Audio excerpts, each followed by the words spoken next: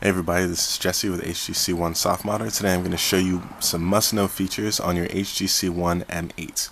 This is the HTC One M8. This is the follow-up to last year's model, the M7. Both models are called the HTC One, but this one's called the M8. This is the new model. This is a great phone. I'm going to show you some features that you have to know about when you're using this device. The first thing you should know is that you don't even have to use the power button to unlock the device. You can just double tap on the screen to get to your lock screen. This is very similar to the LG G2. It's a great feature because the power button is at the top. It's kind of awkward, kind of hard to get to. Another thing you can do is you can slide straight up on the device and then I'll take you in right past the lock screen to your home screen if you don't have security enabled. If you do, it'll just take you to the lock screen, and you'll unlock it. You can also swipe to the right, which will take you into Blink Feed, um, another shortcut that you can use. You can also swipe down, which will take you to HTC's uh, smart dial. You just say name and who you want to call, and, uh, and you can use that feature. Another shortcut that you can use is you can pick the phone up, turn it on its side into uh, landscape mode, and hold in the volume down key to launch straight into the camera. That's another thing you should check out.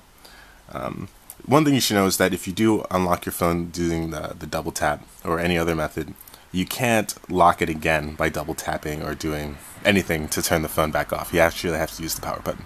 Once you've actually unlocked your device and you're using it, there's a couple features you should know about. One is that this quick settings here, you see these tiles. Um, actually, HTC now you can customize these, which is a really handy feature to have.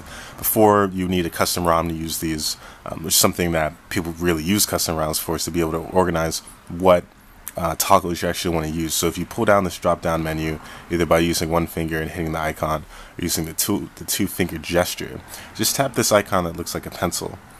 And then you can hold in these uh, icons over here to drag these around. Or you can go down and drag, there's a bar here you can see that says hidden uh, hidden items. You can drag them below this bar or above this bar to arrange what is actually visible right here in your quick toggles. Very, very nice feature. There's some customization that you can do on this model that you couldn't do before. If you go into settings, you can actually change around your theme. So go down to personalize, go to theme, and these are some color, different different color palettes that you can use. So right now I'm using one that has you know green accents. You can see this in the in the menu as well. Um, if you go into themes here, you can change this around a bit, experiment with different combinations. Some of them are pretty good. Doing this will make everything kind of an all black color use this one, apply. You get more of a uh, more purple accents, you can see here.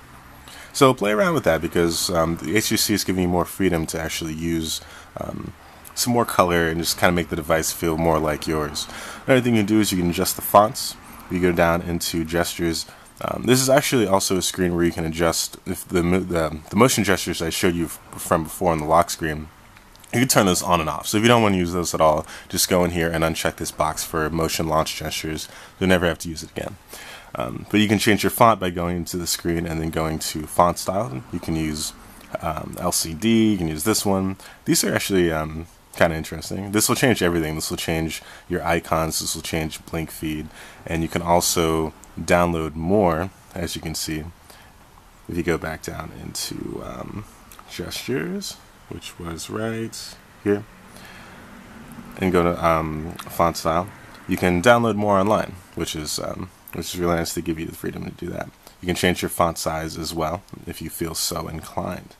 Um, so these are just some of the features that you can you can use on your um, on your new HTC One M8. Um, for the full tutorial, check out HTC One Softmodder. Don't forget to like, comment, and subscribe. Thanks a lot.